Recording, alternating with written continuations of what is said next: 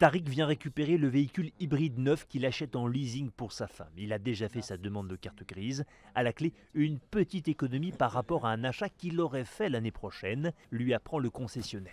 Oui, je l'ai payé 204 euros. 244,67 euros. Voilà, exactement.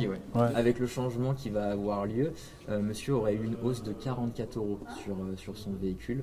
Donc la carte grise aurait eu un coût global de 288 euros et 76 centimes. Ouais. alors, monsieur? C'est un peu cher quand même. Que j'ai déjà ma carte grise, mais euh, ça va freiner beaucoup de gens, je pense. Hein.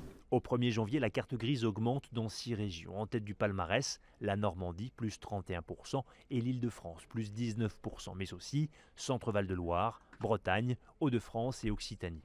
Un tarif fixé par les régions. Explication, depuis le Covid, on vend moins de voitures. Cette hausse compense donc des recettes en baisse qui servent par exemple à financer le développement du train. Coût moyen du cheval fiscal l'année prochaine, 46,95 euros.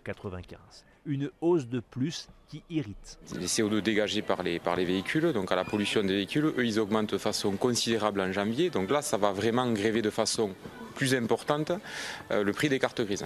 Il y a également la taxe au poids euh, qui, est, qui est modifiée, qui va augmenter en janvier aussi. Seules exceptions, les véhicules électriques qui resteront exonérés de frais de carte grise l'année prochaine, tout comme les véhicules hybrides, mais dans certaines régions seulement.